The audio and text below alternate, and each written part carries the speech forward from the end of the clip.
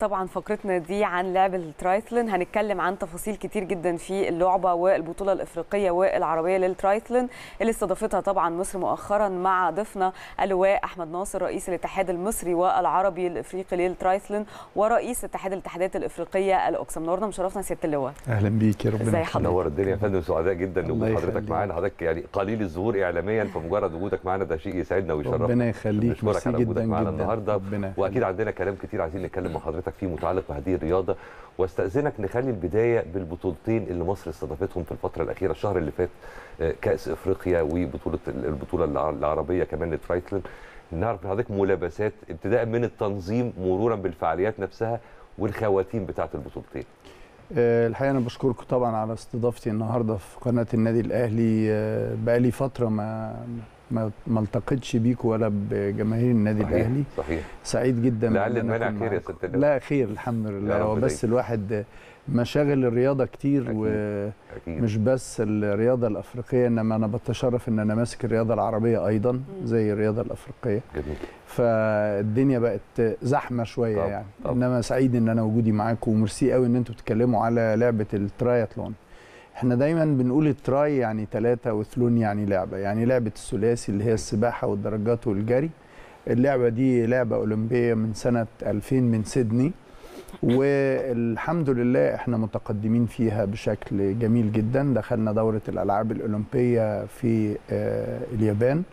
والحمد لله آه، حاليا بن بنسعى للتأهل وإن شاء الله بإذن الله ربنا يوفقنا. عندنا آه، لاعبين آه، سيف ومهند بيحاولوا إن هم إن شاء الله يتأهلوا. البطولة اللي فاتت كانت بطولة لأول مرة بنقيمها في سهل حشيش ومكان جميل جدا طبعا. جدا طبعا. جدا. والحقيقة الناس كلها كانت مبهورة بيه. ويعني عايز أقول السياحة الرياضية من خلال الترياثلون كبيرة جدا جدا. طبعا. طبعا وإحنا اللعبة بتاعتنا فيها مسافة أولمبية ألا وهي إن اللعيب بي أو اللاعبة بت بيعوم 1500 متر في مياه مفتوحة. ثم بيطلع لمنطقة اسمها منطقة الانتقال. فيها بيبقى فيها الدراجة بتاعته والخوذة وكل حاجة محطوطين في ترتيب معين برقم معين. بيروح ياخدهم ويلبس ويبتدي يطلع من نقطة الركوب للدراجة ويعمل 40 كيلو عجل ثم يعود لمكان النقطة دي أو منطقة انتقال أخرى ويسيب الدراجة والخوذة والحاجة في مكانها ثم يجري 10 كيلو. آه كل دول بدقة قلب واحدة. يعني مش زي باقي باقي الألعاب المركبة إن هي بترتاح وبعدين تكمل و و و إلى آخره. فدي طبعا من الألعاب القوية جدا والشاقه جدا. حضرتك بتتكلم عليه 40 كيلو دراجات و10 كيلو جري. و1500 ورا بعض. متر سباحة. بالظبط آه، غير آه، السباحه ف بالظبط. بالتالي مش أي حد ممكن يبقى مؤهل للتفوق في الرياضة دي. والله هو حضرتك كلامك صح بس إحنا دايما بننتقي ال- السباحين. اللي ممكن ما يكونوش آه، متفوقين قوي في السباحة إنما يكونوا لهم أرقام. وفي نفس الوقت آه، أمريكا كسرت الجزء ده وجابت آه، حد بتاع دراجات.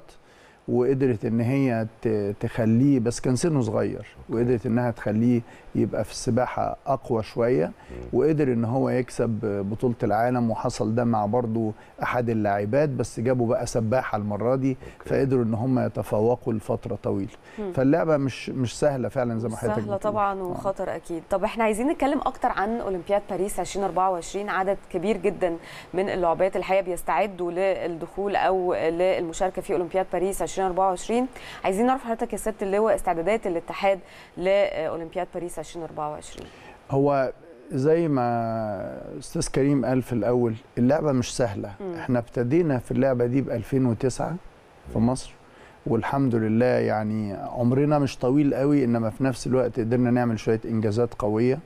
الحقيقة الفضل يرجع لل- للدولة لأنها الدولة بتدعم الرياضة والدولة اللي بتدي الفلوس للرياضة والى اخره وخصوصا إذا كانت اللعبة مش مشهورة قوي فبيبقى ال ال الرعاية فيها بتبقى صعبة شوية والى آخره. إلا إن وزارة الشباب والرياضة ال- ال- الوزير الشاب الدكتور أشرف صبحي الحقيقة عامل دفعة قوية جدا جدا جدا للألعاب الفردية بصفة عامة والتراثلون بصفة خاصة. والحقيقة مش أول بطولة بنقيمها دي البطولة ال 14 اللي بنقيمها تقريبا في مصر. وكنا ما بين آم، جنوب سيناء شرم الشيخ وما بين آه، سهل حشيش. الحمد لله هذه البطولة كانت بطولة قوية جدا جدا لأن كانت أكتر من بطولة كانوا حوالي ست بطولات.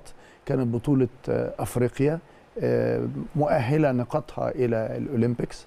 البطولة العربية لأول مرة بتؤهل نقاطها إلى الأولمبيكس.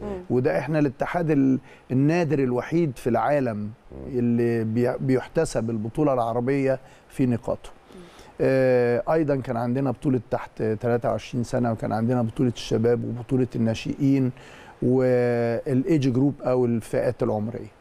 ال- الحقيقة الأولاد ما شاء الله عملوا نتائج كويسة جدا سواء كان مهند أو أو آه، باقي اللاعبين الحمد لله. وقدروا إن هم وسيف ما شاء الله عمل كويس قوي. فقدروا إن هم يحققوا آه، نقاط آه، في اتجاه التأهل إن شاء الله. لدورة الألعاب الأولمبية. الدورة ما هياش صعبة ومش سهلة. بيبقى في حوالي 64 لاعب بيتأهلوا من خلال نظام تأهلي معين. بيبقى في مجموعة من اللاعبين بيتأهلوا مباشرة عن طريق القارة ودي هتحصل في دورة الألعاب الأفريقية اللي هتقام في غانا واللي بيسعدنا إن إحنا كاتحادية الكونفدراليات الرياضية الأفريقية هي اللي بتدير هذه البطولة مع آه، اتحاد آه، آه، اللجان الأولمبية ومع أيضا الأفريقية ومع اللجنة المنظمة ومع الاتحاد الأفريقي السياسي اللي هو مالك لهذه الدورة. والبطولة دي هتقام من 8 ل 23 مارس إن شاء الله في غانا. وفيها حوالي 30 لعبة منهم طبعا التراثلون. ده هيبقى فيها تأهل مباشر والتأهل المباشر هيبقى عبارة عن ثلاث لاعبين المفروض ممثلين للقارة وأيضا بيبقى فيه ثلاث لاعبات بقية